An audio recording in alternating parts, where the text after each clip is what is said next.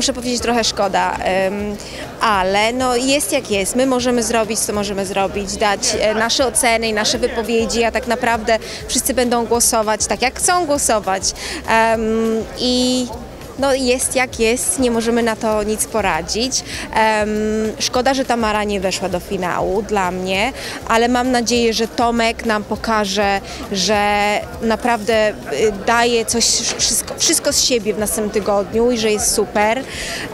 Chciałabym też dla Joasi, bo ja, dla Joasi w tej chwili to nie ma konkurencji. Tomek nie jest konkurencją. Mam nadzieję, że Tomek trochę podniesie pod, poprzeczkę i, i będzie konkurował trochę konkurował, konkurował z, z Joasią. Także No właśnie, bo teraz wygląda na to, że w zasadzie zwycięzca już powinien być znany, y, bo Joasia tańczy znakomicie, już y, nawet nie biorąc pod uwagę tego, że nie widzi, a jak pomyślimy o tym, że nie widzi, no to już totalnie.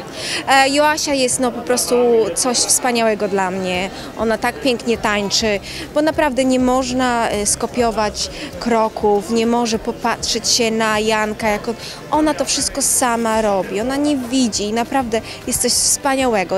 Co tydzień jak się na nią patrzy i co tydzień te tańce nam pokazuje, e, naprawdę coś, jest coś niesamowitego.